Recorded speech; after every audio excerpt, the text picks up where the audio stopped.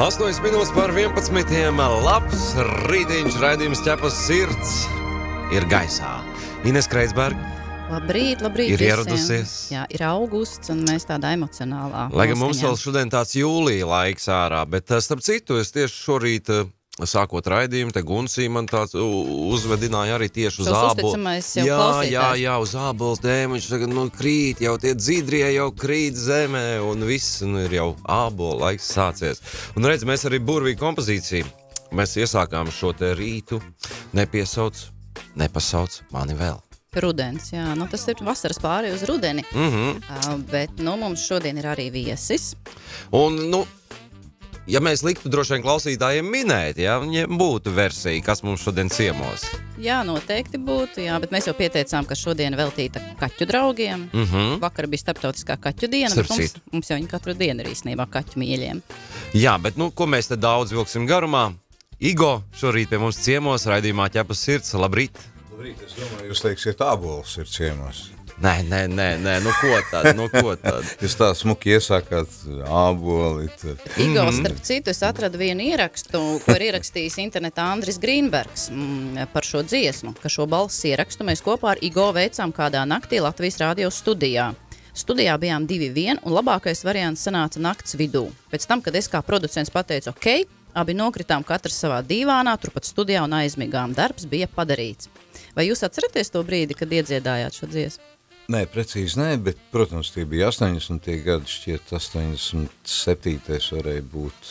uh, Un, jā, ir par, par dažām kompozīcijām ir mm, skaidrs ierakst laikā, ka tas būs kaut kas īpašs, un, un šeit arī tiešām maestro Raimonda Paula mm, dziesma tika noranžēta ļoti veiksmīgi, un, un faktiski šeit ir arī dominējošas, protams, sajūtas, un, un tas tembrālais jau kopskanējums dziesmām. Jo mēs jau, kad aicinājām Igo, Igo jau teica, nu, kad ir arī citas dziesmas. Nu, jā, bet mm -hmm. nu, es teicu, nu, tomēr šī dziesma ir Der, ļoti daudziem. der, der. Viņa Augustā der. Bet šis stāsts arī izklausās, Igo, nu tā, ka, nu, man, nu, manuprāt, šobrīd nu, studijas maksā visu laiku. Tas ir ātri, ātri jāiedzied, nav laiks, Jā. viss ir nauda, nauda. Bet, nu, arī kā Kvīna filmā, ja tur viņš, nu, čaļi nedēļām dzīvo, šis arī stāsts tās šķiet, nu, kad, nu, čaļi līdz beidzamam, kamēr nav perfekti, mie, pie miera nedosies. Jā, es neatbildēju uz to jautājumu, vai es atceros konkrēti, jo patiešām mēs ar Andriju esam strādājuši daudz līdz, līdz spēku izsīkumam. Un, eh, jā, strādāt dziļi naktī vai, vai agri no rīta turpināt iesākt to un pie vienas dziesmas strādāt nevis dažas stundas, bet vairākas dienas, kamēr tas viss ir līdz pēdējiem noslīpēts. Tā bija normāla situācija, mm -hmm. un es domāju, ka tieši uh, šīs attieksmes iespējams pietrūkst uh, šodien, kad iespējams ir uh, ātri, um, pat nedaudz neprecīzi iedziedāt, un tad uh, to ar tehniskiem līdzekļiem savest kārtībā un ir. Bet uh, jāsaka, es esmu tomēr uh, veco principu piekritējis, ka tev pašam ir jāpanāk ar, ar savu balsi, ar savu precizitāti maksimālais. Nu, un tad, ja ir kaut kas pavisam nepaveicams, tad to izdara mm. -hmm. tehnika. Bet, uh, principā, kā ir pierādījies, nav, nav neiespējama lieta. Drīzāk mani kaitina, ja es dzirdu, ka kaut kas ir uh, labots, un koncertā dzirdu, piemēram, ka kāds stu studijā salīdzinoši veiksmīgi gabalu nemaz nevar dzīvē izpildīt. Pēkšņi viss ir šķīvi, neritmiski, un ir skaidrs, ka, ka darbs nav ieguldīts pietiekams. Nu, re, kā mēs pa mūziku. Nu, Galu galā esam rādījā, bet mēs, mums ir raidījums ķepus sirds. Mm. Un te nu arī Igo, nu, nevelti ir pie mums šodien ciemos. Jā, jo īstenībā ļoti daudzi nu, stāsti, viņi arī mums televīzijā, kad tapuši, viņi jau arī bez mūzikas arī nav iedomājami, un tā konkrētā dziesma, vai mūzika, jau paspiltina to stāstu. Un, un Igo sižets un Igo stāsts par viņu kaķiem bijis viens no populārākajiem. Mēs arī šobrīd arī atceramies, mēs pirms astoņiem gadiem pie jums filmējām, un Un tas uh, Igo jau ir ļoti populārs ar to, ka viņš ir īsts kaķu cilvēks. Un, un no viņa jau pilnīgi jau var patentēt tādu teicienu, ka, ja tu kaķi vari dabūt par savu draugu, nu, tad tas ir kaut kas īpašs. Un tāpēc gribējām saprast, kā klājas šobrīd. Un, Un kādi tad ir tie cilvēki, kuri savā dzīvē izvēlas ielaist tikai un vienīgi kaķus? Un arī runāsim par tādu kādu īpašu dzīvnieku, īpašu kaķi, kas noteikti katram mums dzīvē ir tāds, kas pavada mūsu visu mūžu. Un tāpēc arī runājot par šo kompozīciju, viņa arī pavadīja sižetā. Mēs arī mm -hmm. runājot par jūsu īpašo ka kaķu Vilhelmu, bet nu, par visu pēc kārtas. Jā, pilnīgi droši. Un, uh, protams, arī klausītāji, ja nu mums ir kāds jautājums, Igo, vai mums, jā, var to droši uzdot, rakstot ziņu 273, 9933, WhatsApp lietotnē vai arī parasto īziņu. Un tad, nu, lēnā garā šķetināsim, izjautāsim Igo. Uh, viena dziesma, un tad turpinām, jā? Tu domā, ka nekad dzīvē neiemīlēsies, nevienam neskries pakaļ un negatavos ēst. Un tad tavā dzīvē parādās kaķis. Raidījums ķepus sirds un jā, kaķis, kaķis, kaķis. Un kurš gan varbūt labāk par kaķiem var šodien rītā mūsu trijotnē pastāstīt kā Igo? Jā, un tad uzreiz jautājums, Igo, nu, tas klikšķis, kas sapratāt, ka esat īsti kaķu cilvēks, tas notika pateicoties kādam īpašam kaķim? Uh, patiesībā bija nu, tāda vēlme un sajūta, ka mm, ka gribētos tādu draugu. Un tad, kad mēs ieraudzījām Liepājā Vilhelmu, un, un tas bija jau, tas bija jau 99. gadā, tad faktiski bija skaidrs, ka, ka šis čalītis būs tas īstais draugs. Un, un tā tas izvērtās desmit gadu garumā, un jāsaka godīgi, tik adekvātu un tik, tik draudzīgu un, un nu, tik, tik saprotamu dzīvnieku nu, nav gadījies vēl sastapt vairāk. Protams, es neapstrīdu to, ka, ka citiem ir katram, katram savs un, un saprotamais dzīvnieks un, uh, Tā, bet nu, šķiet, Vilhelms bija ļoti, ļoti īpašs. Tad viņš arī sanāk tā kā pirmais jums tāds Jā. skaķis. Bet Jā. es tā tieši iedomājos, ka Vilhelms viņš arī bija toreiz kopā šausmīgi avārijā, izbēga mežā, atgriezās Jā. pēc tam mājās. Un pēc tam vēl nu, nodzīvoja daudzus jā, gadus. Viņš gluži pats ne, neatgriezās mājās, jo viņi atrada pie talsiem. Viņ, jā, viņi atrada pie talsiem mežā pēc pāris mēnešiem, un, un dīvainā kārtā viņš bija izdzīvojis. Un, un neskatoties uz visu lielo pārdzīvojumu, gan vienatnē, gan, protams, arī piedzīvojot avāriju, kur mēs izdzīvojam, uh, viņš saglabāja līdz, līdz pēdējiem Alpu silcienam savu lielisko dabu, un, jā, nu, Bet jums arī sanāca tāda emocionāls tāds moments, ka jūs arī, jums izdevās arī no viņa atvadīties, un vai tomēr nav tā, ka uh, daži saka, ka kaķi tād kā, nu, atdod savu veselību arī, nu, lai saimnieks var jā, dzīvot? Iespējams, jā, jā, iespējams, ka tā bija, uh, jo uh, man pašam mm, tanī vakarā, kad es uh, no viņa atvadījos, pašam bija jau diezgan slikti. Es biju atgriezies no, no koncerta. Un patiesībā nu, pēc pāris stundām man pašai aizved uz slimnīcu. Un, um, Daiga bija tā, kura atvadījās no Vilhelma. Nu, tā pa īstam parunāja ar viņu. Un, un tad arī viss.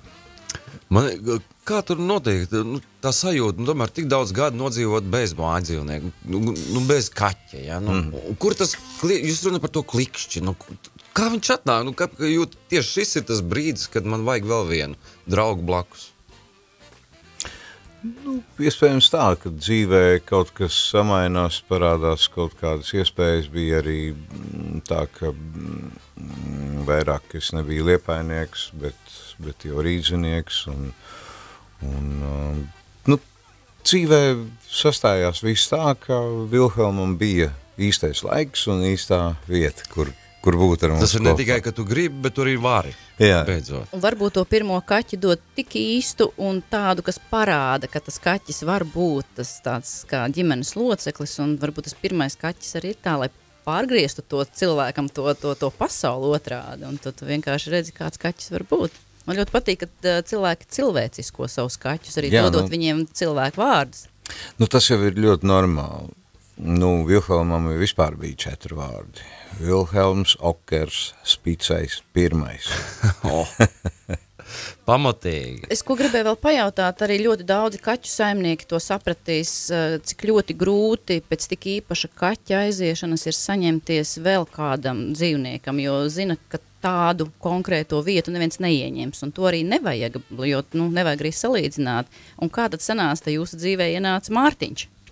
Nu, jāsaka, tieši tāpat kā visi pārējie, mēs pārdzīvojām sava drauga aiziešanu un, un ļoti līdzīgi kā citi cilvēki sākotnēji domā par to, ka, nu, ne- nevajag nevienu citu, saglabāsim šīs atmiņas un tā un tā un tā. Bet tad jau pagāja kaut kāds laiciņš un, un šķita, ka tomēr, ka tomēr uh, gribās sev tūmā vienu siltu kamoliņu un, un tad nāca Mārtiņš un um, tas ir Himalai kaķis, jo Vilhelms bija persietis, Ruts.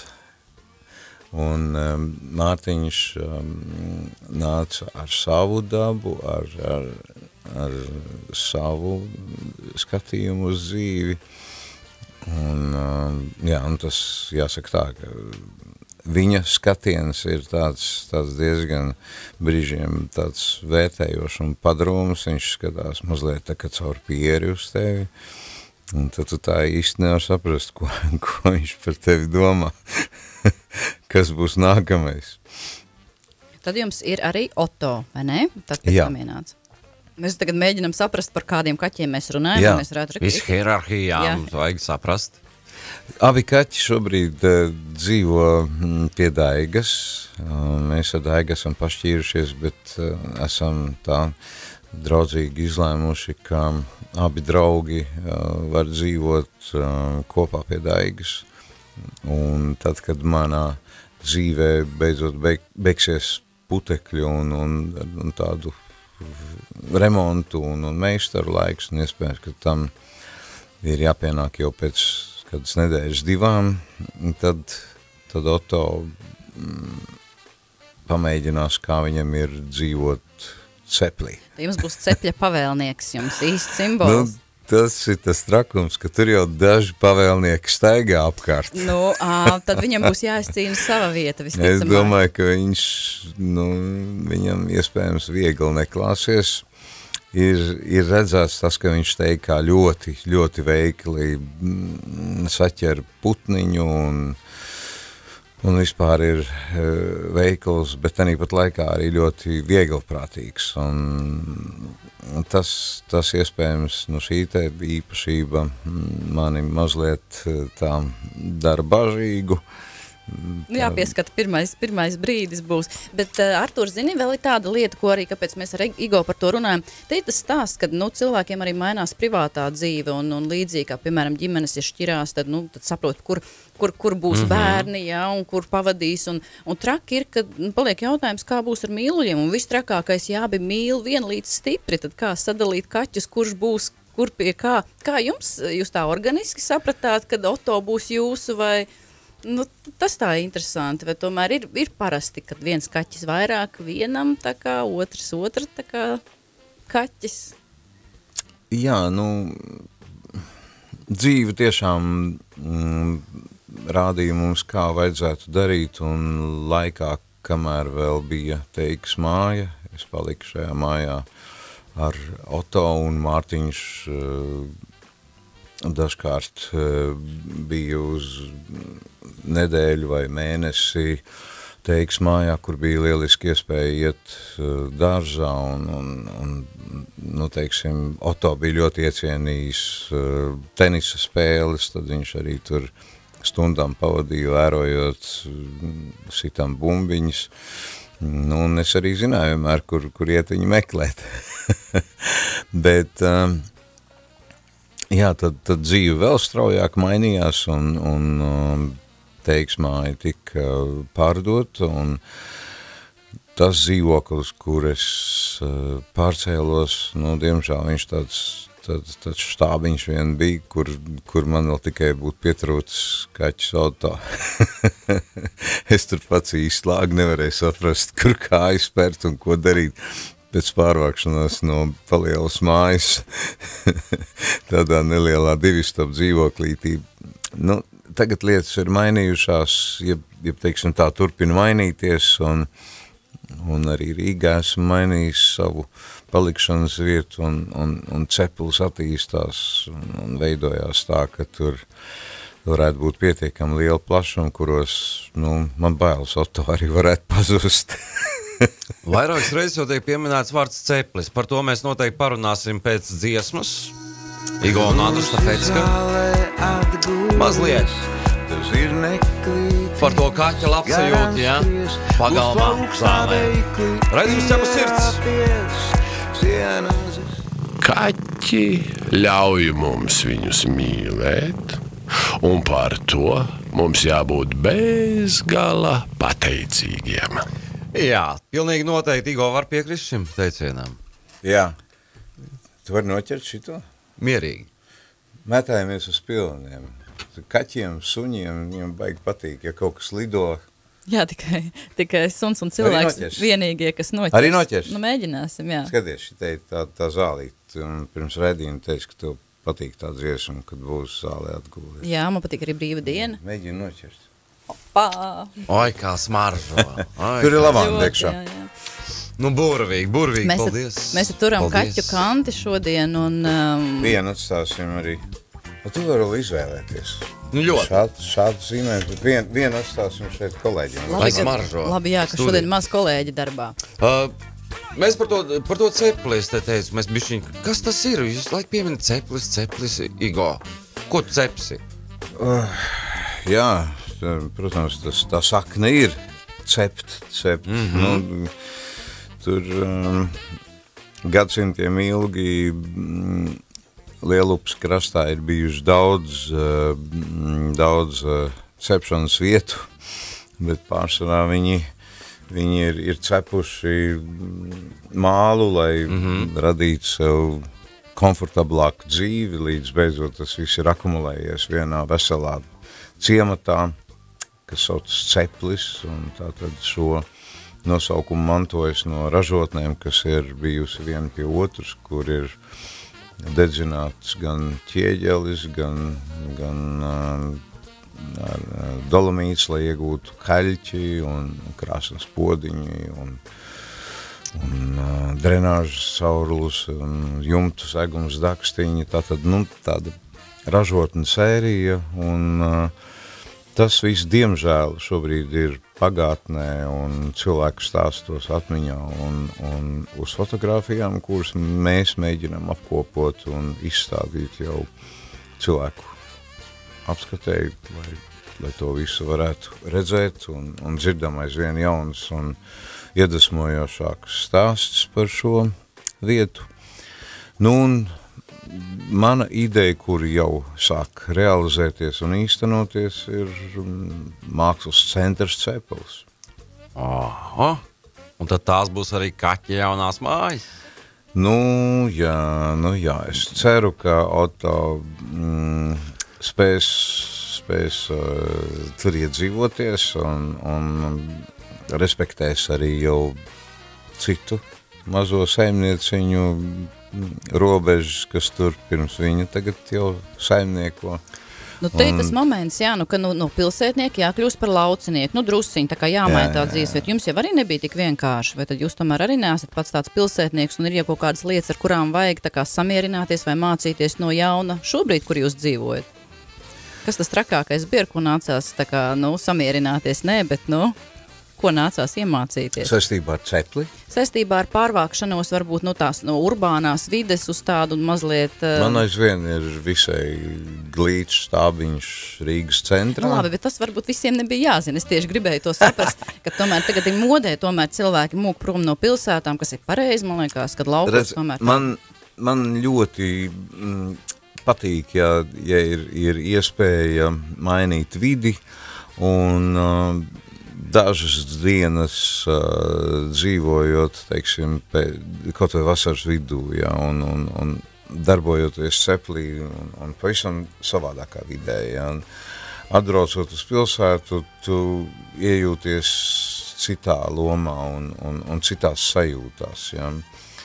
Un uh, tas ir baigi forši, līdz ar to atkal atgriežoties ceplī, to es ar, ar citu enerģiju pilns, kaut ko citu ieraudzījis pilsētā, kādu saticis, parunājis un, un nāk līdzi, tas, tas viss viens otru bagātina. Tas, kad tu sēdi tikai vienā vietā, tev zūd, nu, tev zūd skats no malas.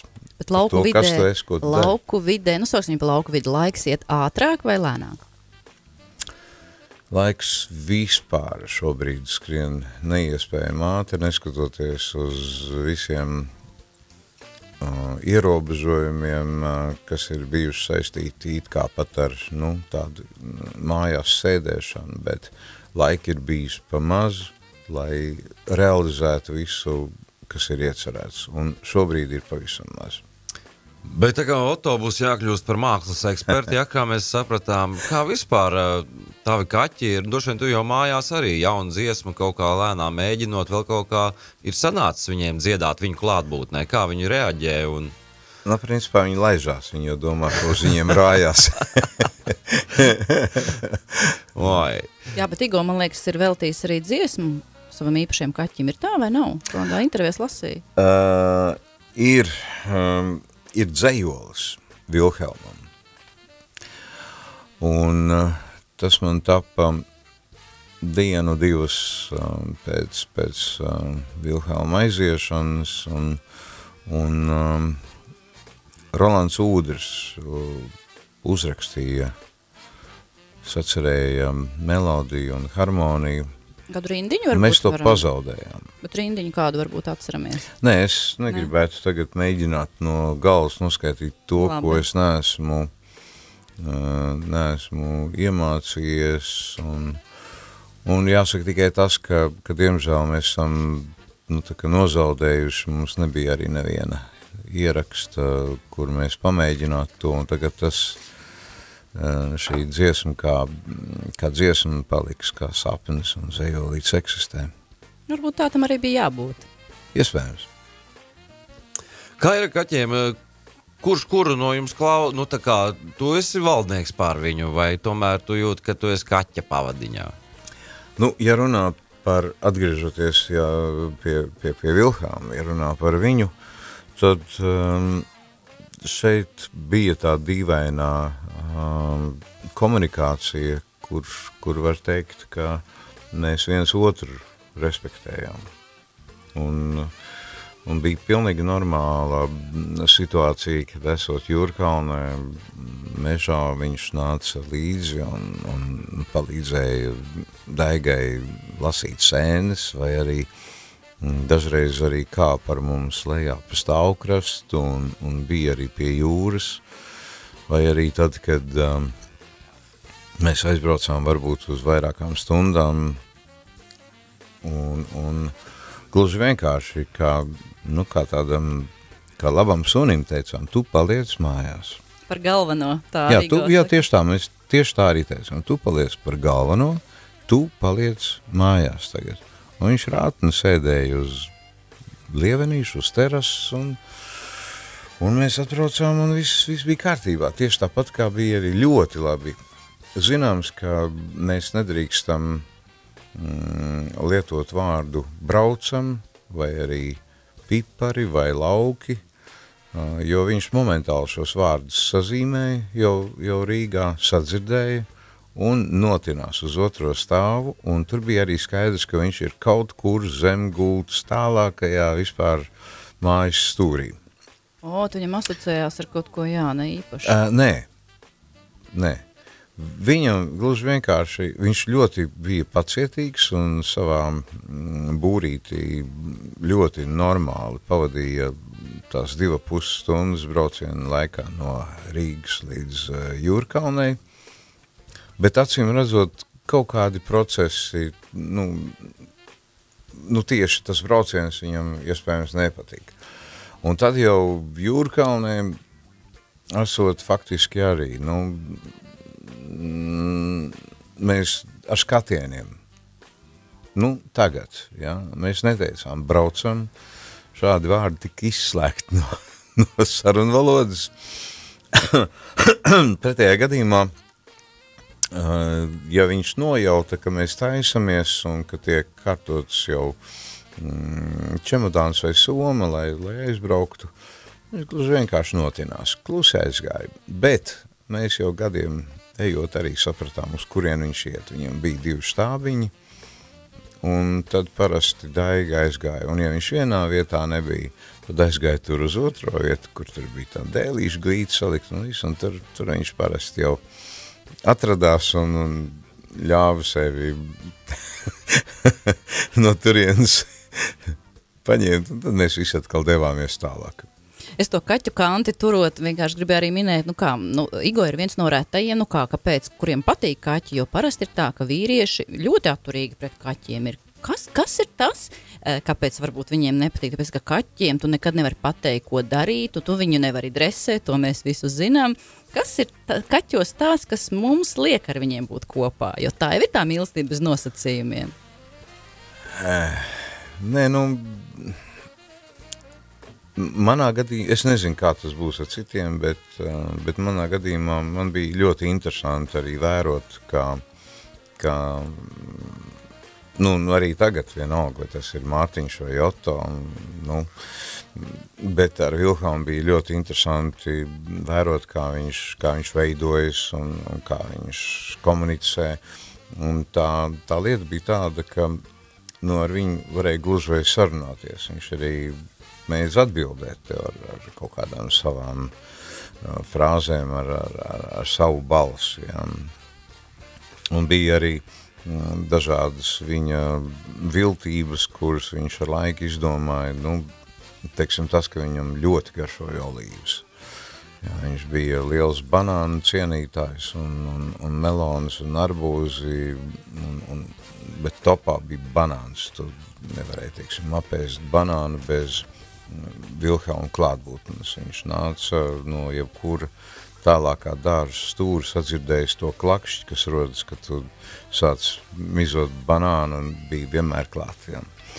Un, piemēram, lai, lai dabūtu savu olīvīti, viņš mēdz sēdēt starp septiņiem, astoņiem cilvēkiem uz savu krēslu pie galda, un tad, kad viņam likās, ka viss nu tagad ir iegrimuši sarunās, tad, viņš tā pilnīgi uz otru pusi skatoties pastiep savu ķepiņu un no galda, no šķīvīša, kas bija uz galda, vienkārši nozvejoja vienu olīvi, nu tad tas tālākais jau apmēram desmit minūšu laikā notika jau uz grīdas, viņš šo olīvu kā bumbiņu dzenāja pa, pa visu grīdu visiem par prieku, līdz beidzot apgulās uz muguras un abās rokās ķepās. Rokās, redz, kā es jau saku. Rokās, nu, bet protams. Abās ķepās turot eh, to olīvu notiesāju. Pēc pāris minūtēm viņš atkal bija starp visiem pie galda. un mēģināja nenomakšķirēt nākamo. Tas ir īsts mākslinieks, teiksim Jā, tā. jā. Šis, šis šādas vēl nebija kaķi un olīvi. Tad man jautājums, za- zaļās vai melnās ar kauliņiem vai bez? Bez kalniņiem, un, uh, nu, protams, viņš arī ņemtu ar kalniņu, bet tā kā mēs paši Skaidrs, ka viņam garšo, jā, jā. jā. Nu, jā, viņš, viņš bija, nu, gardēdis.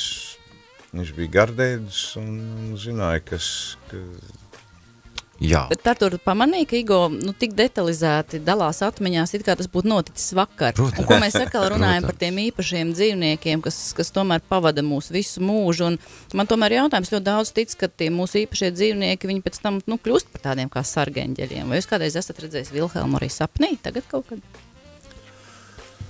Hmm. Varbūt kādreiz kādas zīmes var dot, varbūt viņš ir kā vietniekus atsūtījis tagadējos kaķus, varbūt kādu vēl atsūtījis. Jā, jā, nu, tā varētu būt. Visādi var būt. Un,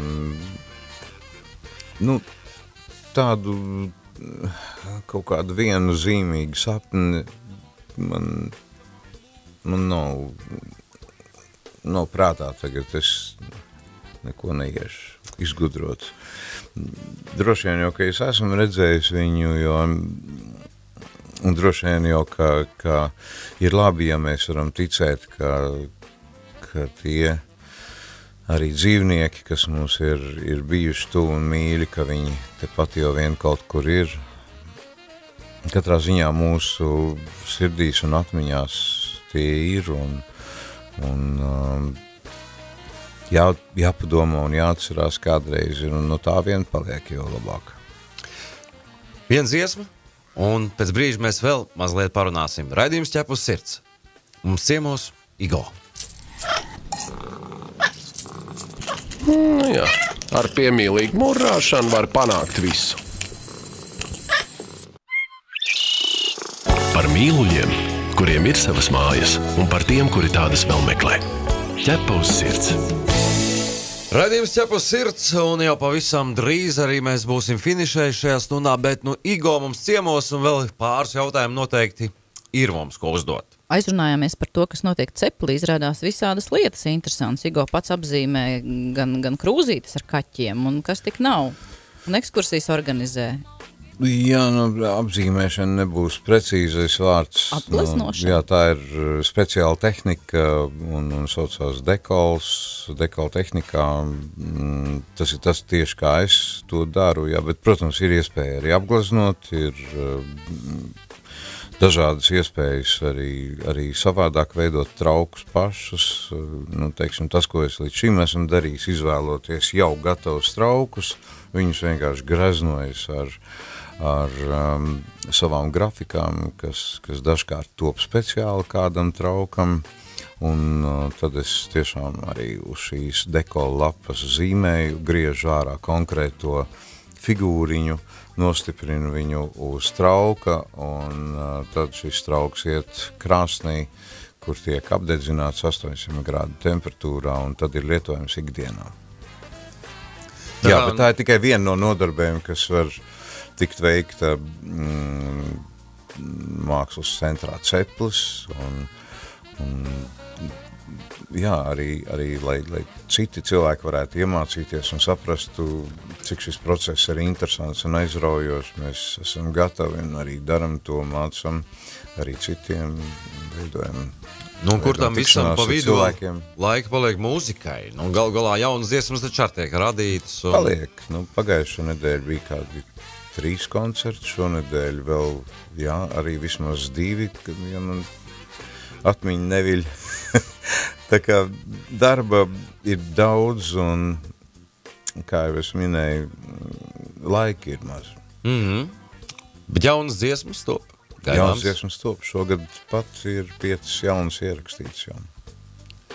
Bet Skan. katru koncertu Igo tomēr jūs pabeidzat ar kādu īpašu dziesmu. Kāpēc tieši konkrēto? Jūs teicāt man Par ko par brīvu dienu. Um, tā dziesma gan jau ir uh, ar, ar, ar, ar zināmu vēsturi. Tur ir mani vārdi un Rolanda Udra mūzika. Un, um,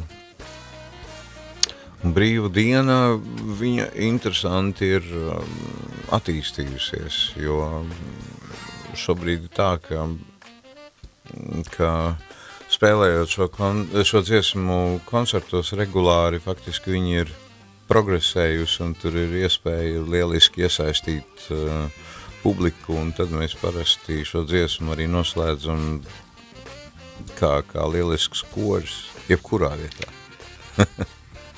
Un arī rādio un brīvdienu rītos. Teikšu godīgi, šī dziesma ir ļoti daudz skanējusi. Gal galā, kur nu vēl atbilstošāk. Jā. Igo, ko tu teiktu visiem, eh, nu, es domāju, kaķu mīļiem, nu, ir vērts, un tiem, kas varbūt vēl domā, vai ir kaķis vajadzīgs viņa ģimenē? Tā ir atbildība, un uh, noteikti ir jāizvērtē, uh, vai, vai mēs esam gatavi uzņemties šo atbildību un pilnā mērā no sākuma līdz pašām beigām.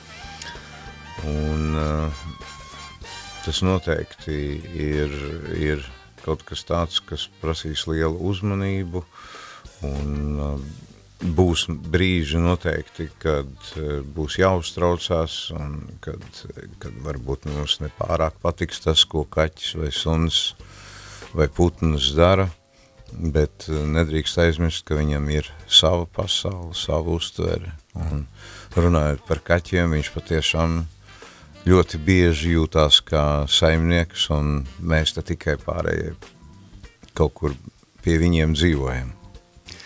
Paldies, Igo, ka atradi laiku atnākt pie mums ciemos. Paldies, Igo. Veiksmi jā. ceplī, veiksmi Jā, mūzikā, brauciet koncertos. Brauksim ciemos. Jā. Gaidīsim dziesmas. Igo bija mūsu šīs nedēļas raidījuma viesis. Ines Kreisberg, Arturs Kruskops. Tiksimies jau atkal svētdien. Un kā jau mēs te pirms mirkļa runājām, jā, Igo bieži vien beidz koncertus ar brīvdienu. Un mēs beigsim mēs? arī šo raidījumu Jā? ar O. brīvdienu. Tūlīt pat pēc ķepas sirds džingla. Atā visiem! Tiem, kam dzīvnieks ir labākais draugs, ķepa uz sirds. Raidījums visai ģimenei par dzīvnieku pareizu kopšanu un audzināšanu. Ekspertu padomi, kas svarīgi cilvēkiem un dzīvniekiem. Ķepa uz sirds. Svētdienās, 11. kopā ar Artūru Krūskopu un Inesu Kreitsbergu. Ieklausīsimies mazo draugu balsīs, kas mūs uzrunā ikdienā, jo viņiem ir ko teikt.